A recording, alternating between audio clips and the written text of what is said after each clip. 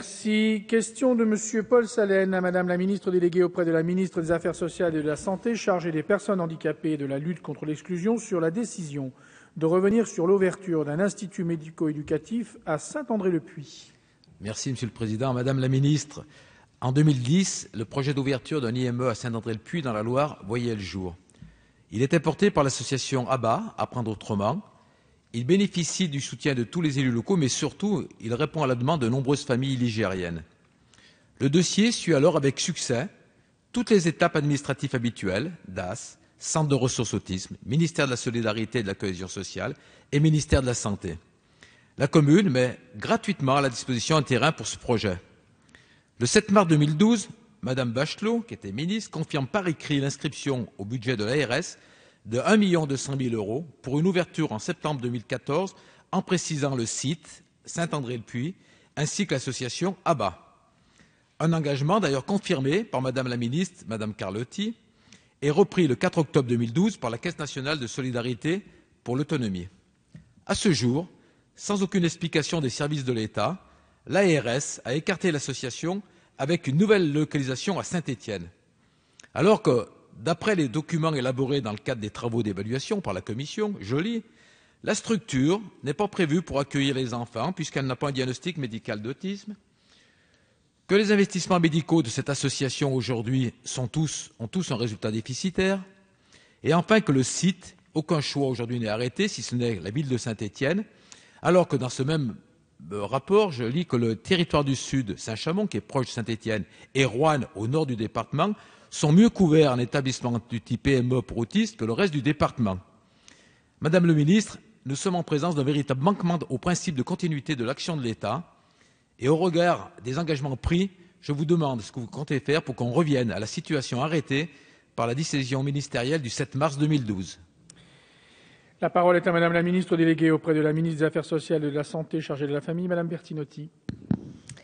Monsieur le député, vous avez euh, attiré l'attention du gouvernement sur le projet de création d'un institut médico-éducatif de 20 places porté par euh, l'association euh, ABBA Apprendre autrement et soutenu par la commune de Saint-André-le-Puy dans la Loire. Vous avez effectivement réévoqué le, processus et le calendrier et le fait que euh, Madame Carlotti s'était aussi euh, engagée, y compris euh, financièrement.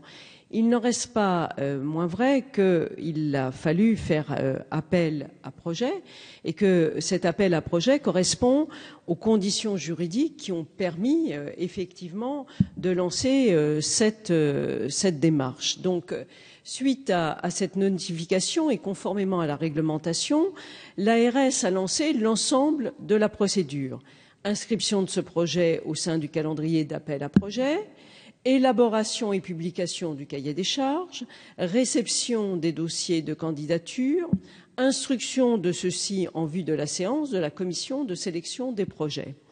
Sur les six projets déposés, la commission s'est prononcée à l'unanimité sur le classement de chacun de ceux-ci et celui porté par l'association ABBA Apprendre autrement n'a pas été classé dans le premier tiers.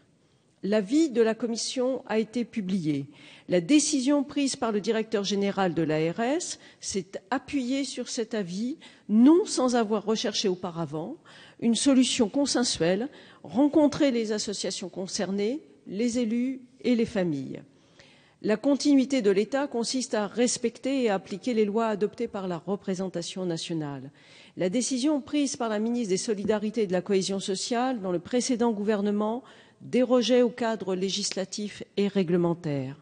La réforme de la procédure des autorisations dans le champ médico et social, qui comprend des appels à projets, a modifié les modalités dans lesquelles se créaient auparavant les structures.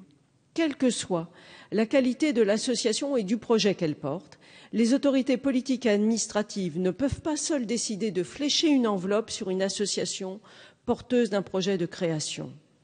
Je me permettrai de dire que ce qui est cependant important, c'est la création dans la Loire de 20 places supplémentaires pour accueillir des enfants autistes, conformément au troisième plan et aux recommandations de la Haute Autorité de Santé.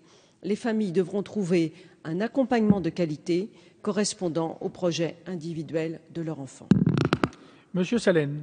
Oui, Madame la Ministre, je, je, ne peux pas accepter ce que vous venez de dire quand vous dites que le directeur de l'ARS, après dialogue et avec un avis consensuel des élus en particulier, a prononcé ceci. Il a refusé de nous recevoir alors qu'il est encore, malgré diverses demandes. Ça, c'est le premier point.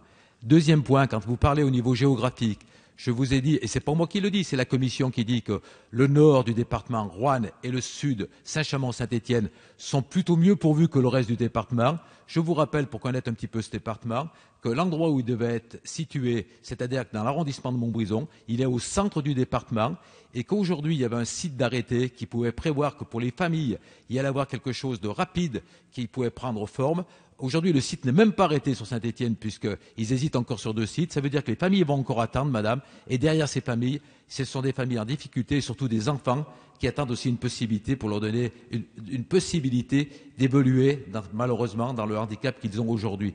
Donc votre réponse ne peut pas satisfaire. C'est un manquement à la continuité du service de l'État aujourd'hui et des décisions prises qui avaient d'ailleurs été confirmées par Madame Carletti qui est ministre. Donc si elle-même revient sur ce qu'elle a promis, je me demande aujourd'hui comment on va fonctionner dans ce gouvernement.